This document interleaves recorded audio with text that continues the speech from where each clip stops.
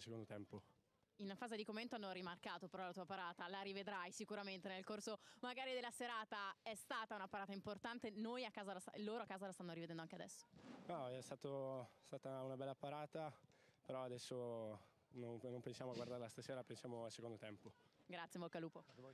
Pazzesca la parata sì. di Pavoni, più la rivediamo e più ci piace. Eccola qui, grazie alla regia di Pietro Rabita. Intervento senza bravissimo, senso. Bravissimo. Luciano, non ci sono altre parole. Non ci sono parole per descrivere l'intervento di Pavoni. Ricordiamo che erano pazzeschi e le mie parole verranno prontamente dimostrate dalle immagini. Direi questa principale eh, basta per confermare quello che vi dicevo, la grandissima parata di Pavoni. Dopo 30 secondi di gioco sul tiro a botta sicura di Sinani da distanza ravvicinatissima, ottimo il pallone di forte. Proprio per Sinani, ma che intervento di Pavoni, più lo rivedo e più mi stupisco di quanto sia stato eccezionale il porterino del Chievo Verona a salvare tutto, poi molto bravo anche Guarnone nel corso di tutto il primo tempo è riuscito sempre a fermare un Chievo Verona che è partito così così poi si è ripreso alla grande, eccola la bella parata di Guarnone sul destro alla distanza di eh, Danieli, capitano del Chievo Verona, si coordina bene dai 30 metri.